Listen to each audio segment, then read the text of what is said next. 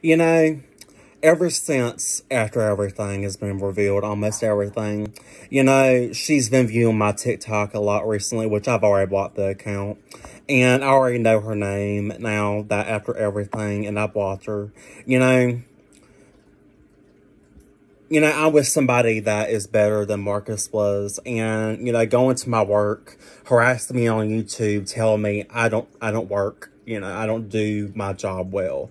You know, a lot's changed progressively since all that.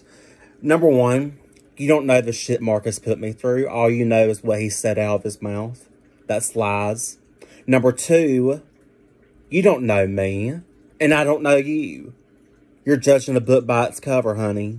Number three, you're a coworker of Marcus, and you only know Marcus's story of what he said, just like the thing I just said.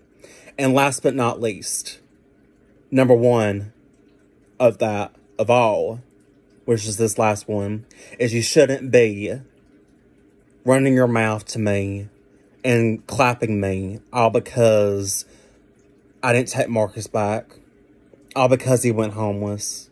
You know, I'm sorry, I can't help you.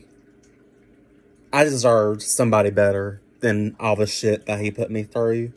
You know, you can say it was by accident.